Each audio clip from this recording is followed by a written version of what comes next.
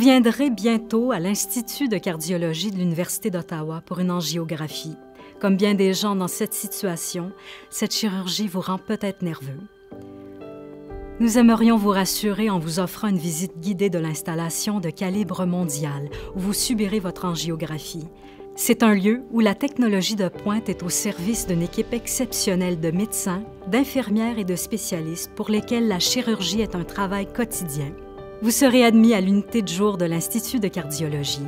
Il est probable que vous passerez du temps ici en attendant que l'infirmière vous appelle pour que l'on vous prépare vous pouvez inviter un membre de la famille ou un ami à attendre avec vous. On vous préparera dans l'unité de jour. Puis, on vous amènera à la nouvelle tour, au laboratoire de cathétérisme. Nos nouvelles installations ont été pensées en fonction de notre modèle d'équipe interdisciplinaire et de manière à faciliter l'utilisation des meilleures technologies qui soient directement au chevet des patients. Le résultat? Des soins de classe mondiale pour les patients et leurs familles.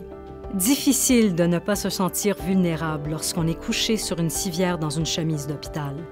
Les membres de votre équipe de soins feront tout ce qu'ils peuvent pour vous mettre à l'aise. Ils viendront se présenter et vous expliqueront pourquoi, par exemple, ils contrôlent vos signes vitaux ou vous installent un tube de perfusion intraveineuse au poignet. Ils comprennent ce que vous vivez et se soucient de vous. Après la préparation, un préposé aux soins vous amènera au laboratoire de cathétérisme où vous serez installé sur une table de radiographie. Ce laboratoire est équipé de la technologie la plus avancée au monde. Il fera froid au laboratoire et l'on vous couvrira de couvertures chaudes. On vous reliera un moniteur cardiaque.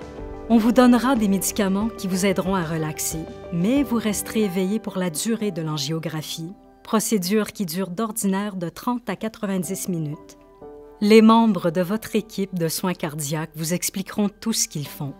Le médecin enfile un cathéter très mince dans votre tube intraveineux et dans votre vaisseau sanguin, puis injecte un produit de contraste afin de mettre en évidence les artères coronaires. Pendant tout ce temps, la radiographie avec balayage prend des images de votre cœur. Quand votre procédure sera terminée, vous retournerez à l'unité de jour vous vous y reposerez au lit pendant environ une heure après la procédure, si votre médecin a utilisé l'artère de votre bras. Si le médecin a utilisé l'artère de l'aine, vous vous y reposerez pendant un maximum de six heures.